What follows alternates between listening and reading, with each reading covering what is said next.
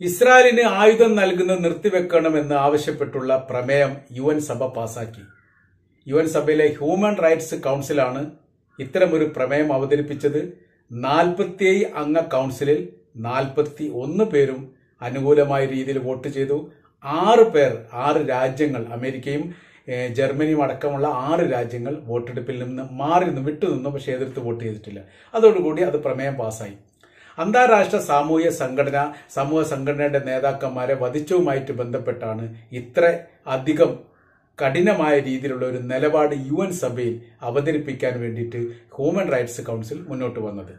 അവർ പറയുന്നത് മനുഷ്യത്വത്തെ പട്ടിണി കിടത്തി കൊല്ലാനുള്ള അധികാരം ഇസ്രായേൽ നൽകിയിട്ടില്ല. അത് തീർച്ചയായിട്ടും തങ്ങൾ ചോദ്യം ചെയ്യുന്നതാണ്.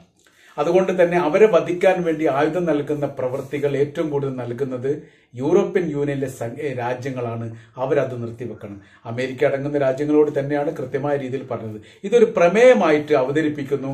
ഈ പ്രമേയത്തിൽ വോട്ടെടുപ്പ് നടത്താൻ വേണ്ടി തങ്ങൾ നിർദ്ദേശിക്കുന്നു. അങ്ങനെ വോട്ടെടുപ്പ് നടത്തുന്നു.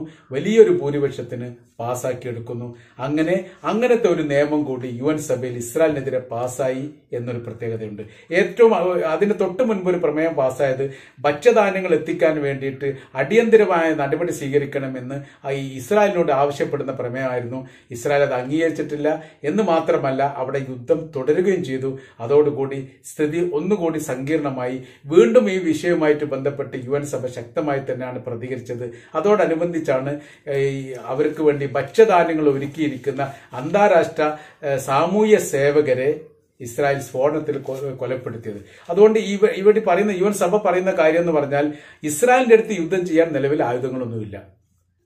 അവരുടെ ആയുധങ്ങളൊക്കെ തീർന്നു കഴിഞ്ഞിരിക്കുന്നു. ഹിരോഷിമയിലും നാഗസാക്കിയിലും അമേരിക്ക ഇട്ടിരിക്കുന്ന ആയുധത്തെക്കാൾ കൂടുതൽ കിലോ നമ്മൾ ഭാരം നോക്കുന്ന സമയത്ത് അതിൽ കൂടുതൽ ആയുധങ്ങൾ ആയുധത്തിൽ കൂടുതൽ സ്ഫോടനങ്ങൾ ഗസയിൽ നടത്തിയിരിക്കുന്നു. അവരുടെ അവർ അവരിപ്പോൾ യുദ്ധം ചെയ്യുന്ന മുന്നേ വ്യത്യസ്തമായിരിക്കുന്ന ലോകരാജ്യങ്ങളുടെ ആയുധം വെച്ചിട്ടാണ്. അതുകൊണ്ട് നിങ്ങൾ അത് നിർത്തുക അതോടുകൂടി യുദ്ധം അവസാനിക്കുകയും ചെയ്യും. അമേരിക്ക ഇങ്ങനെ കയറുകൂടി വിടുക എന്ന് പറയുന്നത് ലോകത്ത് നിന്ന് ജീവിച്ചിരിക്കുന്ന ഇരുപത്തൊന്നാം നൂറ്റാണ്ടിൽ ജീവിച്ചിരിക്കുന്ന മുഴുവൻ മനുഷ്യന്മാർക്കും അപമാനമാണ്.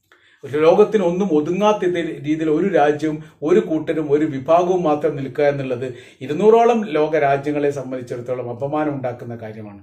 അതുകൊണ്ട് തന്നെ അവരെ കൂട്ടിക്കെട്ടണം ചങ്ങലക്കിടണം എന്ന കാര്യത്തിൽ യാതൊരു സംശയമില്ല അവർ ഇന്നോളം നടത്തപ്പെട്ടത് ക്രൂരമായിരിക്കുന്ന പ്രവൃത്തി തന്നെയാണ്.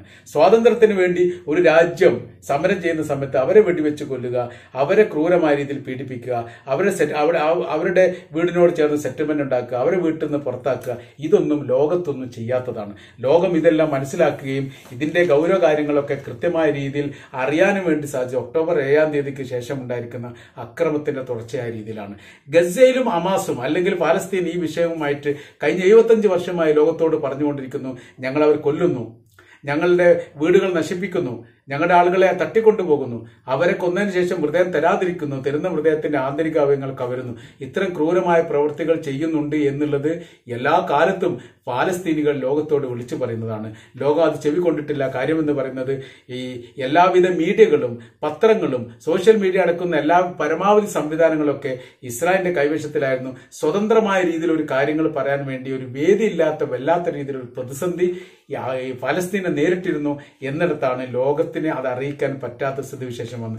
ഇന്ന് ഒക്ടോബർ മാസം എന്ന് പറയുന്നത് അല്ലെങ്കിൽ ഈ കാലം എന്ന് പറയുന്നത് സോഷ്യൽ മീഡിയ സജീവമായിരിക്കുന്ന കാലമാണ് എന്ന് മാത്രമല്ല അപ്പപ്പം നടക്കുന്ന സംഭവം അപ്പപ്പം തന്നെ ലോകത്ത് മുഴുവനും അറിയാനുള്ള സംവിധാനം നിലനിൽക്കുന്നു. അതിന് പ്രത്യേകപരമായിരിക്കുന്ന മീഡിയയുടെയോ പത്രക്കാരുടെയോ റിപ്പോർട്ടിന്റെയോ ആവശ്യമില്ല. അവനവന് ചെയ്യാൻ പറ്റുന്ന രീതിയിലാണ് സോഷ്യൽ മീഡിയ സംവിധാനിച്ചിരിക്കുന്നത് അതിന്റെ സംവിധാന രീതികളും അങ്ങനെയൊക്കെ തന്നെയാണ്.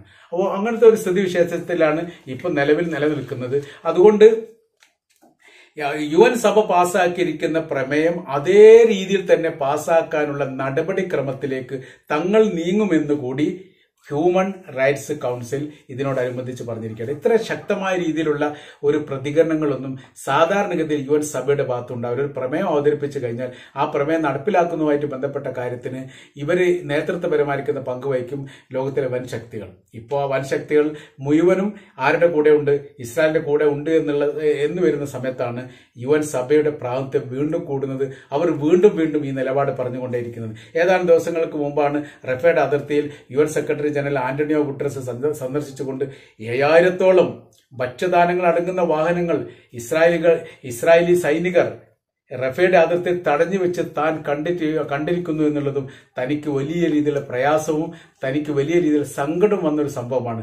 ഒരു ഭാഗത്ത് പട്ടിണി കടന്നുകൊണ്ട് ഒരു ഒരു ജന ഒരു ജനവിഭാഗം മരിച്ചു വീഴുമ്പോൾ മറുഭാഗത്ത് അവർക്കായി ശേഖരിക്കപ്പെട്ട ഭക്ഷ്യധാന്യങ്ങൾ വിതരണം ചെയ്യാൻ രാജ്യത്തിലെ ഒരു രാജ്യത്തിലെ സൈനിക വിഭാഗം തയ്യാറാകുന്നില്ല എന്ന് പറയുന്നത് നാലാം നൂറ്റാണ്ടിലുള്ള ജീവിതക്രമത്തിന് തുല്യമായിരിക്കുന്ന സ്ഥിതിവിശേഷം ഇരുപത്തി ഒന്നാം നൂറ്റാണ്ടിൽ ഉണ്ടായിരിക്കുന്നു എന്നതിന്റെ ഏറ്റവും വലിയ ഉദാഹരണമാണ് എന്ന രീതിയിലാണ് യഥാർത്ഥത്തിൽ ആന്റണിയോ ബുഡ്രസ് ഈ വിഷയത്തെ അഭിമുഖീകരിച്ചുകൊണ്ട് സംസാരിച്ചത്. മാത്രമല്ല യുദ്ധഭൂമിയിലേക്ക് നേരിട്ട് കൊണ്ട് ഒരു യു എൻ സഭയുടെ സെക്രട്ടറി എത്തുക എന്നുള്ളത് ഒരുപക്ഷെ ചരിത്രത്തിൽ ആദ്യമായിട്ട് കൂടിയാണ്. കാരണം എന്ന് പറഞ്ഞാൽ യുദ്ധപ്രഖ്യാപനം ഉണ്ടാകുന്ന സമയത്ത് അതിനെക്കുറിച്ചൊക്കെ രൂപീകരണങ്ങൾ ഉണ്ടായ അഭിപ്രായം പറയുന്നതിന് അപ്പുറമായ രീതിയിൽ ഒരിക്കലും എന്താവാറില്ല. ഒരു സെക്രട്ടറി ജനറൽ ഇത്തരം യുദ്ധ പ്രദേശം സന്ദർശിക്കാൻ എത്താറില്ല. ഈ കാര്യത്തിൽ അതും കൂടി കഴിഞ്ഞു. ഏതായിരുന്നാലും ഇപ്പോഴത്തെ നിലവിലെ സാഹചര്യം എന്ന് പറഞ്ഞാൽ ലോകത്തോടാണ് യു എൻ സഭ സംസാരിച്ചത്. നിങ്ങൾ ആയുധം കൊടുക്കരുത്. ആയുധം കൊടുക്കാത്ത രീതിയിൽ ഇസ്രായേലിനെ നിലയ്ക്ക് നിർത്തണം. ആ നിലയ്ക്ക് നിർത്താൻ വേണ്ടിയിട്ട് ആയുധം ബഹിഷ്കരിക്കുകയല്ലാതെ മറ്റു പോംവൈകളൊന്നുമില്ല അതോടുകൂടി തന്നെ അവർക്ക് യുദ്ധം ഇല്ലാതാവും. ആയുധത്തിന്റെ വലിയൊരു പ്രതിസന്ധി നിലവിൽ ഇസ്രായേൽ അനുഭവിക്കുന്നുണ്ട്. അതുകൊണ്ട് എന്ത് ചെയ്യരുത്? വീണ്ടും വീണ്ടും അവർക്ക് ആയുധം നൽകി അവരെ പ്രോത്സാഹിപ്പിക്കുന്നതിന് പകരം അവർക്ക് ആയുധം നൽകാതെ അവരെ നിരുത്സാഹപ്പെടുത്തുകയും അങ്ങനെ പലസ്തീനെ സ്വതന്ത്രമാക്കുന്ന നിലപാടിലേക്ക് കാര്യങ്ങൾ എത്തുകയും വേണം എന്നുകൂടി U N human rights council ലോകത്തോടും അതോടൊപ്പം തന്നെ വ്യത്യസ്തമായിരിക്കുന്ന ലോകരാജ്യത്തോടും പറഞ്ഞിരിക്കുന്നു എന്നൊരു പ്രത്യേകത കൂടി കഴിഞ്ഞ ദിവസം പുറത്തു വന്നിരിക്കുകയാണ്.